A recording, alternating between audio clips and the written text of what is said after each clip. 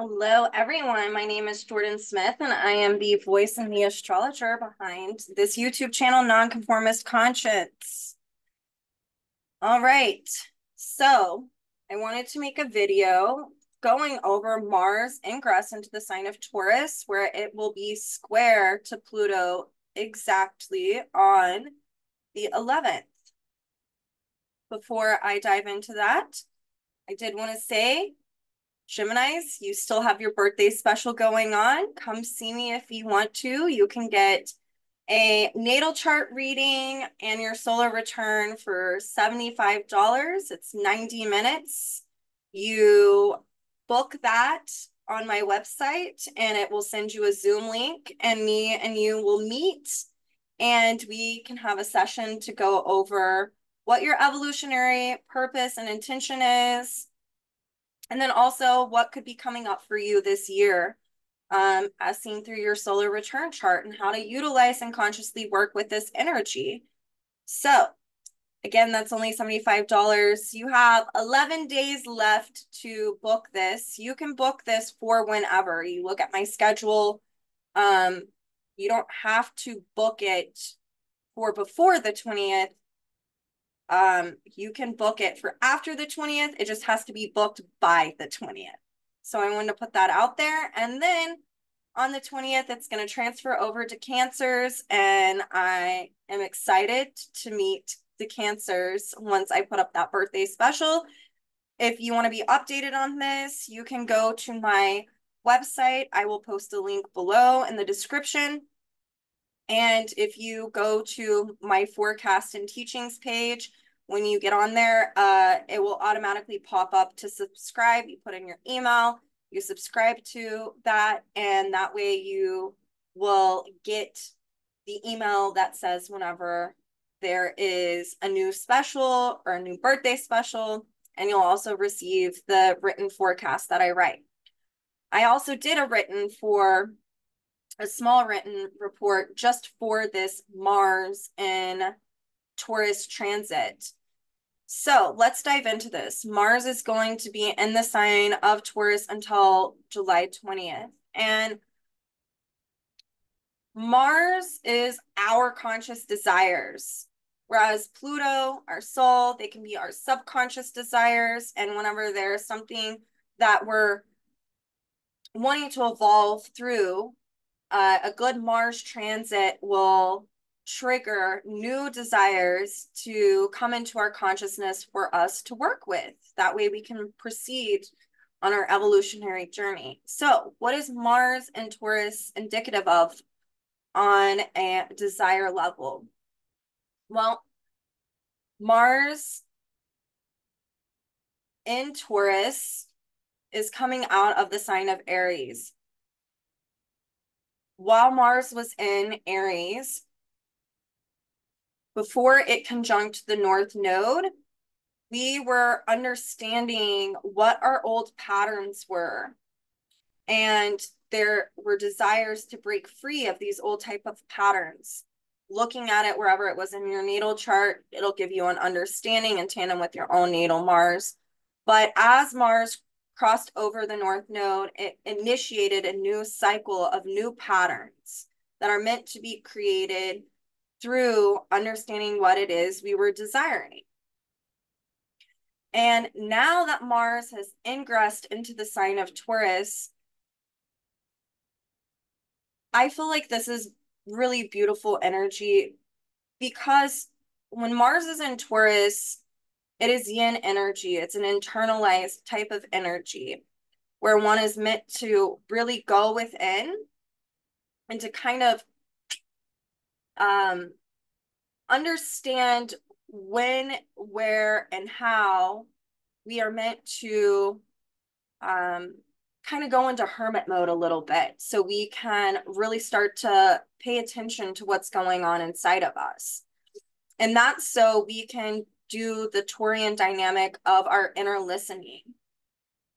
So Mars and Taurus is about being in, internalized in order to understand what desires are we supposed to be working with? What desires are we meant to act on? And when Mars is in Taurus, this is really the need to be internalized is stemming from the Taurus dynamic of really understanding what is in alignment with our values. So a Mars and Taurus transit can be where one has desires that are emanating from within that are in direct alignment with our own personal values and the need to be self-sustaining and self-sufficient in getting after those but it takes the internalized process of connecting with that and this is really beautiful if you think about how Jupiter and Venus and Mercury just came out of the sign of Taurus.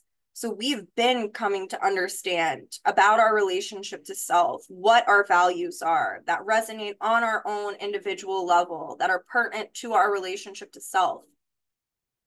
Mars and Aries was these are old patterns that are wanting to be eliminated on a desire level and now something new is wanting to be birthed but it was instinctual and one doesn't really know what it is. And now that it's in the sign of taurus it's saying hey let's pump the brakes. Let's come back down to earth and let's really tap into our inner voice. What desires are being sparked within you that are res- are uh, resonating with your own values and your own beliefs. What is feeling authentic for yourself?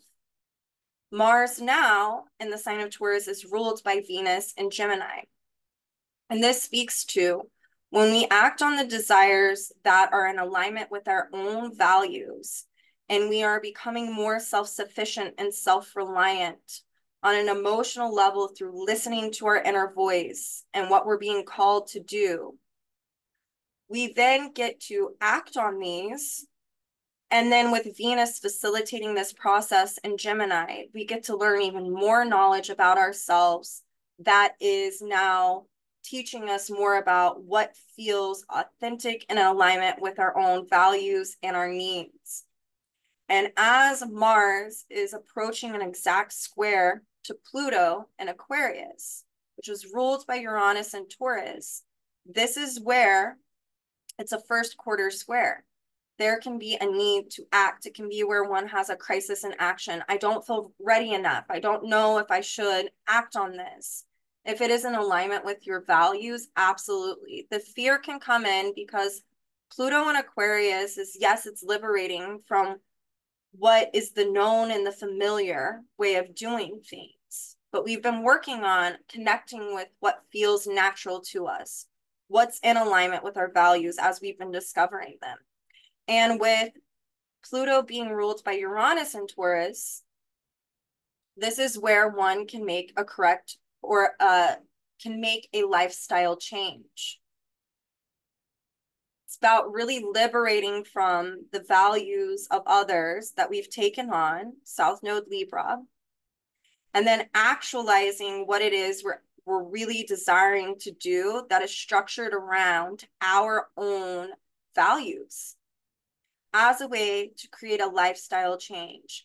And as we make this lifestyle change, Venus will give us more knowledge through that action, Mars, as a way to internalize it to create more inner knowledge and self awareness. Uranus and Taurus ruled by that Venus and Gemini as well. So there's a couple of things that I want to speak to about this transit as well. And I'm going to show you the chart.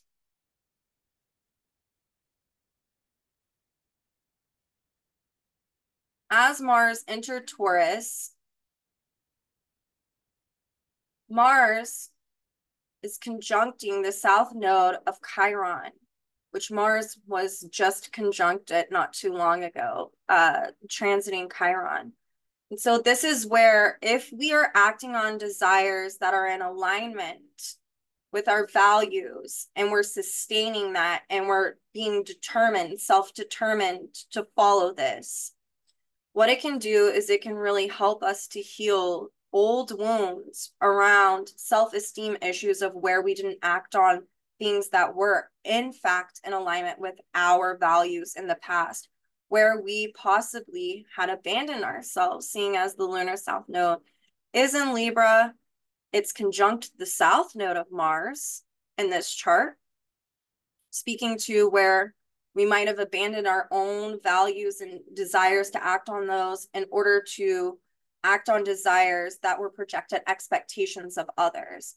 And so this Mars transit is doing a couple of things. One, it's helping us liberate from this dynamic seen with the south node of Chiron, Mars conjunction square to Pluto. Also, where we might have acted on the expectations of others instead of being self-contained, self-sustained, self-reliant. Now it's giving us a new cycle of healing these dynamics on some levels. So that way we can take in ever more layers of deeper knowledge to become inner knowledge, Taurus, that can really help facilitate in the process of self-esteem issues of where maybe we were living for others and not for ourselves in the past. Um, again, going back to the south node of Mars, conjunct the south node of um, Libra, south node of Libra, Mars, south node of Chiron, and Taurus, both ruled by Venus in Gemini. The other dynamic that I want to share with you is that this is where we get the opportunity to, if we have been living for others and understanding that we've copped out on ourselves, so essentially living a, a living lie um, by being one way in front of others and then behind closed doors being very different, there can this can facilitate in a deeply healing process. And so as we do this, this is also really beautiful Mars is technically still in conjunct Lilith. Um, but Lilith is at 29 degrees retrograde in Scorpio, ruled by that Pluto in Aquarius. So this is a repeating signature of when we act on what feels natural to us and, and in alignment through the internal process of connecting with what it is we're desiring to do, checking to see is this in alignment with my values, who I've been understanding myself. It helps one to liberate from the old dynamics of self abandonment, if that's something that you've been doing. It also helps in facilitating the process of a lifestyle change that can create a transformation. Um, by doing something that's in alignment with yourself on an internal level, it can transform your external situations. But it also has the propensity as you're doing this Chironian work of healing these dynamics. It pulls in not only the square to Pluto, but Pluto being Lilith's ruler, where you then, this becomes an inner resource that now you get to share with others, Scorpio, South Node, and Libra, as a way to cultivate healthier self-esteem by living your truth, by living your authentic nature, by living in your own natural values, by living in the type of lifestyle that you're wanting to live in instead of maybe living for others if that's something that you've had a hard time with also eliminates, seeing as Chiron is in Aries and the south node of Chiron is conjunct Mars, square Pluto. The dynamic of where we felt like we needed to prove ourselves to another person instead of proving our, our own convictions to ourselves, right? Mars and Taurus helps us to have sustainment to reach our goals. It can be slow and steady. It's naturally trying Capricorn. It's naturally trying Virgo. So through aligning ourselves and acting on the desires that are in alignment with our values, we get to heal these dynamics I'm talking about, but it helps us pull in Virgo, improving upon ourselves even further through the counteraction of action to receive feedback to gain ever deeper layers of knowledge, Venus and Gemini. And then also to be self-determined to do so. That is the natural trine from Taurus to Capricorn. So it's really facilitating and pulling in this um, whole dynamic of where we get to be our own authority and we get to self sustain that. We get to become more self reliant through just aligning ourselves with the values that feel natural to each one of us. So, I wanted to do this short video and talk about this. Um, I will be doing the weekly forecast tomorrow or the next day. It really just depends. I have a couple of other things, but I did want to put this video out there. You're someone who wants to read this, I'm going to post the link below. And yeah, I just I feel like this is a is a is a great time to learn more about how we can naturally feel like we can survive by living in our own values that feel authentic to our nature and how that can actually only become our inner resource but it can be a resource that we can share with others where we can be a natural role model to others through living our lives authentically and in alignment with our own intrinsic values and needs and self-sustaining that. So it's throwing off where maybe we were living for others and their values or their expectations. I feel like I talk about this a lot because that South Node is in Libra, but it's also something very pertinent within the culture of our society. A lot of us have experienced that dynamic of doing for others instead of living for ourselves. And it's great to be of service to others, but we don't want to abandon ourselves. And so if you're someone who's experienced that phenomena or is needing to really reconnect with your own inner voice, Mars and Taurus gives us this breath of fresh air to really do so. It's really reflecting this energy. The one thing I do want to say with Mars and Taurus square to Pluto and Aquarius is take the time to slow down this week. Take the time to ground into your body, to be objective about what's going on, how you're talking to yourself, what is coming up into your consciousness that you're wanting to act on.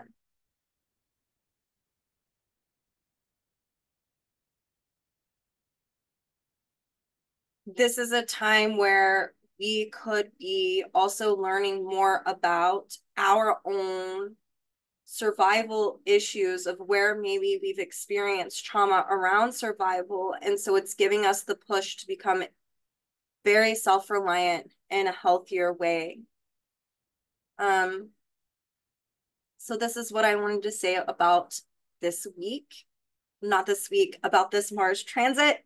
Um, it's getting late here but I wanted to make sure that I put this video out. I uh, would love to see more of my Gemini friends. And also, thank you to all of the people that I've been working with. I, I just, I love what I do. I feel like I say that every time, but I, I want to just say that. Um, you guys give me a career that helps me to survive and to sustain myself and it's something that I am super passionate about and I um I just have a lot of respect and reverence for those of you who give me the opportunity to read your chart and I feel like it is such an honor and a privilege. So more about this week will be coming out either tomorrow or the next day and I can't wait to see you all then.